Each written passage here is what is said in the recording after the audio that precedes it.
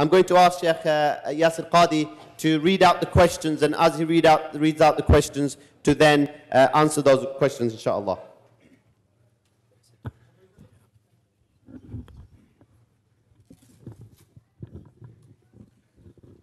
Assalamu alaikum wa rahmatullah. Um, most of these questions are actually of a personal nature, uh, so I don't mind answering them. But I do want to uh, begin by stating that it is not my methodology for those who listen to my lectures or follow me on, on YouTube or Facebook. It is not my methodology to engage too much with critics uh, for many reasons. Of them, frankly, because I honestly believe that, uh, and I, may Allah protect me from arrogance, but I honestly believe that my ego is not worthy of me having to defend it. There are far more important things in the ummah than me having to respond to critics. Uh, I also believe that, uh, by and large, uh, criticism is something that is a part of human life and nature, and that we have ourselves to accomplish more than just responding to what people say about us. And I also learned from our Prophet ﷺ that, and mark my words here, and I have lived with this for 20 years of my life, giving da'wah, and I continue to live with it, inshallah. The best way to silence the speech of the critics is through the deafening noise of your own actions.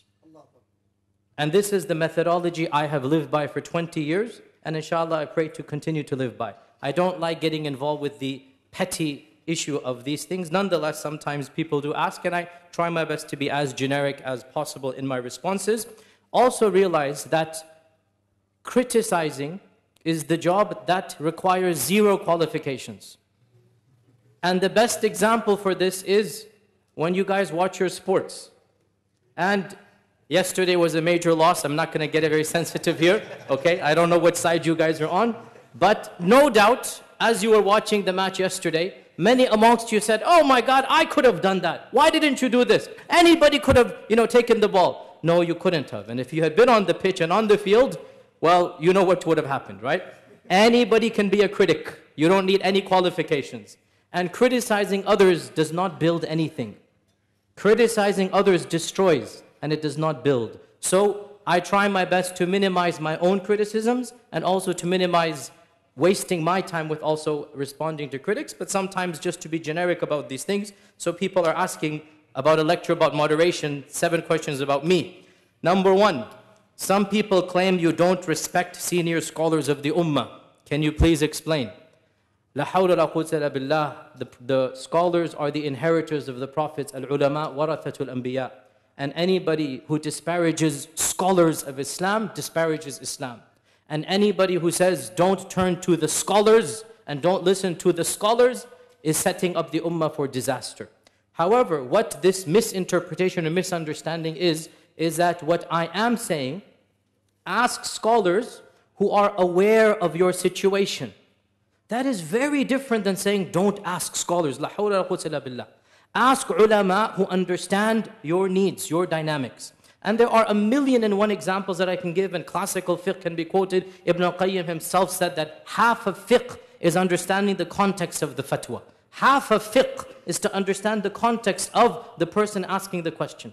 And there are so many examples that can be given, and I don't want to bore you with the details. I simply want to say this is simply not true. All I'm saying, go to ulama, I didn't say go to the baker and ask your fatwa from him. Go to ulama who understand the situation you're living in. And again, I don't wish to uh, praise your local ulama and scholarship, but mashallah, Allah has blessed you with a great imam in your midst, a great scholar in your midst. It's your job to go to him. Now, if Sheikh Abdul Qayyum himself feels stumped, I don't know what to do. It's his job to go to ulama in other lands and countries. You should Ask local scholars. Because Sheikh Abdul Qayyum understands your situation. He understands you and your culture and dynamics. If you ask somebody from another, another country, they might not fully understand what is going on here. And they might give a fatwa that is more appropriate to their societies than it is. And yes, there are differences in the minutiae of fiqh from culture to culture and land to land. Anybody who denies this, I'm not saying the haram and halal changes. I'm saying the finer details change. The finer details of law, the finer details of interaction, they change. And what we call masalih and mafasid, which are pros and cons, they must be weighed in accordance with the reality of the situation. Let me give you a very simplistic scenario. And again, it is not related to fiqh. I'm just trying to make you understand the, the issue here. Suppose your London underground system was going under renovations, and one of the lines, what is it, Piccadilly line? I don't know, I'm not that well familiar. The Piccadilly line is closed, okay? Now, would any of you think that it is worthwhile to call up a sheikh and say, Sheikh, the Piccadilly line is closed. Should I go, give me another line, district line, central line, do this, do that. Now, suppose the sheikh actually knows the underground, he has a map. He will tell you, okay, take the underground here, take the Piccadilly, take this, take that. You yourself will say, no, but sheikh, if I take the central, it'll take me five minutes to transfer from this train to that train. It actually makes sense that the map wouldn't tell you. I know because I've been on the underground, I actually take, give me another line, red line, the district line. I take the district line and the transfer will be easier for me. Even though from the map it looks like I'm going further away. Now, obviously the situation is not that simplistic, but what I'm telling you, most of your fiqh involves a bit of Islam and a bit of Piccadilly line.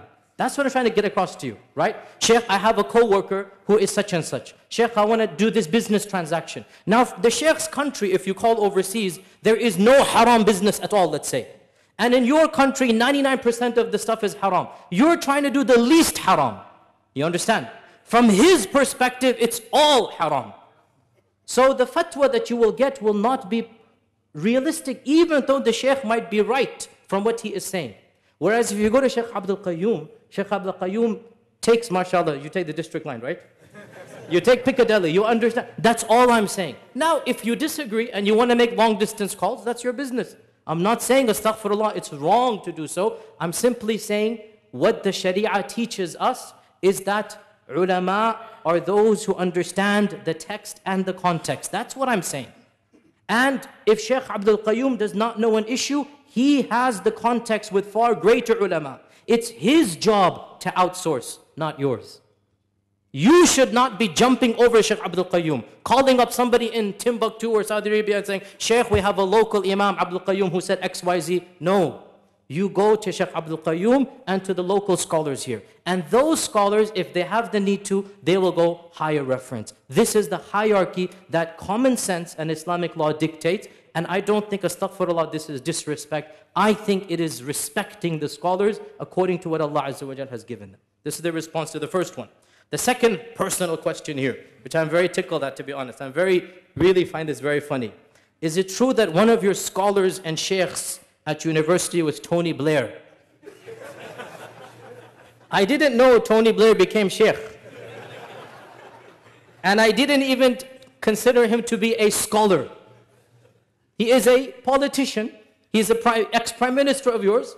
And yes, it is true that I took a course with him at Yale University. Him and other uh, professors were there. And it was not about Islam or tafsir or hadith or fiqh. Tony Blair is not going to teach me hadith and fiqh. The, the course was entitled Faith and Globalization. And it was about faith and globalization and the role of religion in the common world. It wasn't just about Islam, it was about the role of religion in the, the common, in, in the modern world. And I wrote an article, uh, you can read it, it's called To Blair or Not to Blair. That is the question. Google it, to Blair or not to Blair, that is the question. And you can see my entire perspective and frame of mind. And I swear by Allah, if I were able to take a class with Bush or Blair or anybody, I would do so again. Because I think it is a part of the sunnah to engage with these people. When the Prophet saw Abu Talib, Abu Fir'aun, sorry, Abu Jahl or Abu Lahab, did he turn away and flee? Or did he engage with them? And I don't want to boast and praise, but subhanallah, who amongst you, and you are British citizens living in this land, who amongst you can claim to have said directly to Tony Blair's mouth and in front of his face that if you believe in a God, you're going to have to answer to him on the day of judgment for what you've done to the people of Iraq. I swear by Allah, who can say that from amongst you? I can say that, alhamdulillah. I can say that, that I said that straight to his face. And I want to challenge anybody to come and tell me that that is un-Islamic. I said it straight to his face. I made him angry and flustered. But I told him straight to his face. And I quote, if you believe in a God, you're going to have to answer to him on the day of judgment for what you've done to Iraq. This is the sunnah. This is what I'm supposed to do. Now somebody comes and says that you are deviated because you have attended a class with Tony Blair. Subhanallah, did you not go through school over here? Were you not taught by people who don't believe in God? Did you not go through university? Were all of your teachers, mashallah, practicing Muslims with full beards and niqabs? I mean, what world are you living in? Our Prophet benefited from secular knowledge from the non Muslims. He said, that I wanted to forbid you from ghila. Ghila is a particular act. But then I saw the Romans and the Persians doing ghila, and it didn't harm them, so go ahead and do it. Now, ghila is something not related to it. But what did he say? I saw the Romans and Persians doing it, and it didn't harm them. He's benefiting from the secular knowledge. And knowledge that is generic in nature, you learn it from anybody and everybody. And by the way, Tony Blair was not the, the scholar, we had other scholars. He was the politician. The point was melding politics with religion. He was supposed to represent the polit- politician side, and there were scholars there. And yes, I did benefit from that class. And yes, I benefited being in the presence of this Taghut Fir'aun. And he is Taghut and he is a Fir'aun. I benefited from his presence by seeing many things, including the, the gift of eloquence. As our Prophet ﷺ said, verily eloquence is a type of magic. And there is no denying that this person has been given some of that magic. Inna min al-bani sihra. I hate the guy, I despise him, but I would take another class with him because I want to get the point across to him that what he did was wrong. And if I had the chance, I would do it with any other uh, non Muslim or any other person of this nature. And I don't care of the criticism of the uh, critic in this regard. Uh, moving on, some relevant questions. What is the middle way regarding evolution? So, I have given a lecture on evolution as well. You'll find it online. Uh, you can just YouTube evolution in Yasir Qadhi. And in a nutshell, Anybody who says that uh, the Quranic story is not true, that there is no Adam and Eve, then this is very dangerous because this is a rejection of what Allah has said in the Quran. And we do not interpret stories to be metaphorical, to be symbolic. Why? Because Allah says, this is the position of those who reject Allah. That they say, in hada illa asatirul awwaleen. These are only fables and legends. We do not interpret the Quran allegorically. When Allah has said in over 12 different occasions in the Quran, He has described the story of Adam and He has said that He has created us from Adam, then this is not symbolism. There was an Adam, and Adam was created by Allah Azza wa directly because Allah says, We have fashioned him, we have shaped him. At the same time, modern science tells us certain things that are a little bit problematic. Now is not the time to merge them together, but I have presented a theory that I think is somewhat in the middle between uh, those who, I don't want to say, uh, those who don't want to engage with modern science, those who simply want to insist, okay, we will accept the story, but then what do we do to the evidence? I accept the story of Adam and Hawa, and I don't at all allegorically interpret it. But what do we do with the evidence that seems to suggest otherwise? I have a theory, and to be very simplistic, and it's not controversial, don't worry, I say it's not problematic for a Muslim to believe that evolution is true for non humans, for other creatures. There's no problem in that theologically. That Allah created chickens and cows and horses and dogs via this mechanism. If somebody says it, I don't say it, I'm saying if somebody says it, Islamically there's no problem. But when it came to Adam and Hawa, there was a miracle performed. And miracles cannot be proven scientifically. And I gave the example of Jesus, because Allah gives this example. The example of Adam is the example of Jesus. I gave the example of Jesus in that lecture. And I said, imagine, imagine if Maryam alayhi salam lived in a modern world. Imagine. And she comes to the doctor pregnant. And the doctor does the, cat, the, the, the, scans and the pregnancy tests and the CAT scans and looks at the radar and everything and sees the fetus developing. Maryam says, Oh, but uh, I didn't have any relations. Now you tell me, what will modern science say? Obviously, modern science is not going to believe Maryam. But what is happening with Maryam? It is a miracle. So we believe it cannot be proven. It cannot be shown rationally and scientifically. So Allah says the example of Adam is the example of Jesus. Both were miracles. Both were breaks in the natural way. Both were things above and beyond what can be proven. So the one who doesn't believe in the story of Adam really should not believe in any miracles. Because that's only the logical thing. Anybody who believes in miracles, well then the story of Adam is the greatest miracle. Why shouldn't there be a miracle? Allah says in the Quran that the creation of the heavens and earth is a bigger miracle than the creation of man. But most of mankind do not uh, understand and realize. Um, what, what is the... Uh, Let me try to be very. So we have some very difficult questions here, and I don't want to mention the country's name, but what is the wasat manner to deal with what is happening in various lands? And they mention a number of, of, of lands here. Look, brothers and sisters, once again, I want to be very specific about how we attain scholarship in Islam. If this land is not your land, if you are not familiar with the inner dynamics of the land, let the scholars of that land talk about the best way to deal with it. And you will always find a spectrum of opinion amongst the scholars of that land. You will always find a spectrum. As long as you remain within this spectrum and you find some scholarship, then this is good. But the problem comes when you think you know better than the people that are on the ground, that are on the, the, in, the, in the actual area over there, and you disregard all the scholarship. It's one thing to pick and choose among scholars, that every intelligent person does. It's another thing to reject all scholarship. My position is that each one of these lands, you will find, alhamdulillah, ulama who have common sense. Not every alim understands politics. Some ulama do, some ulama don't. That's not, a dis- that's not disrespectful to say. Does every alim understand science? No, it's not his job. He didn't study science. Some ulama understand, some ulama don't. That's not disrespectful. Similarly, some ulama understand modern politics, others don't. So it's your job to, to put the alim in his place. Don't make the alim above and beyond the level that Allah has given him.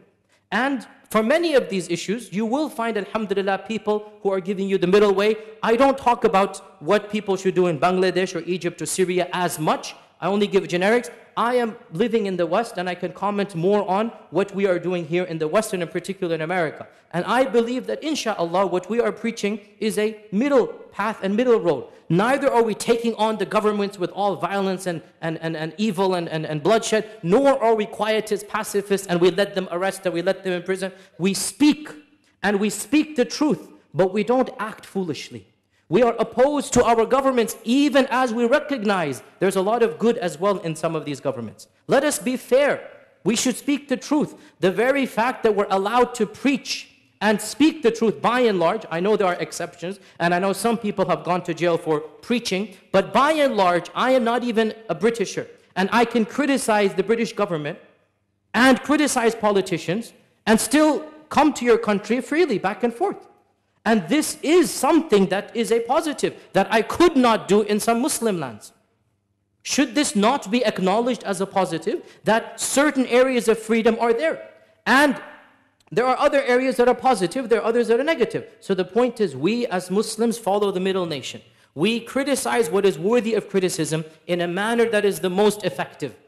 And we do not go beyond the bounds. I am very much opposed to militancy and terrorism. And I, and I don't say this because the government is telling me to say it. I say this because I believe our religion preaches this. I am opposed to blowing things up and killing people that have nothing to do with any other crime. I am opposed to this. At the same time, I also say the cause for this anger is foreign policy and not because of the Quran. The reason why these people are so angry, they want to blow themselves up, is because of what our own governments have done. بِمَا كَسَبَتْ أَيْدِيكُمْ so we criticize the one and we criticize the other. I'm neither on this side nor on that side. Yet we stand up for the truth, we preach the truth, and we criticize both sides for their excessiveness. And it is a moderate and delicate balance. It's difficult. We're very angry at Palestine and Israel, what's happening. We're very angry at so many other foreign policies. At the same time, let us acknowledge the good as well. Let us acknowledge so many positives of this land. And, and Alhamdulillah, Allah has blessed us to be living